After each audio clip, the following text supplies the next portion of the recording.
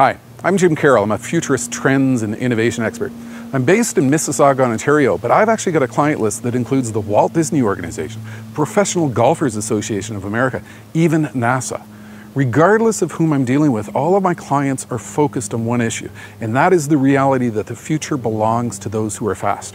I'm dealing with organizations that are trying to figure out how do we deal with a world in which change is happening so quickly, whether it's technological change, whether it's the emergence of new business models, whether it's science driven change that is resulting in new opportunities.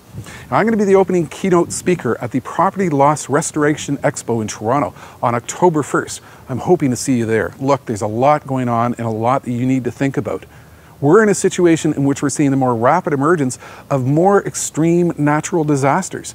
Uh, that leads to a situation in which you have to learn how to scale faster, pull in resources faster, deal with scope challenges that you might never have had to think about before.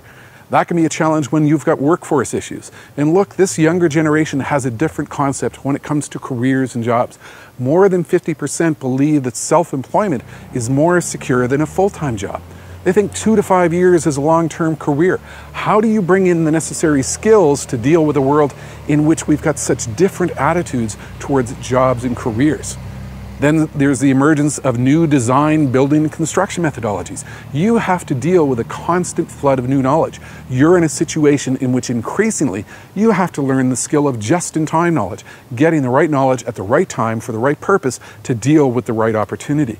These are the types of issues that I'll be dealing with with the Property Loss Restoration Expo on October 1st in Toronto. I hope to see you there.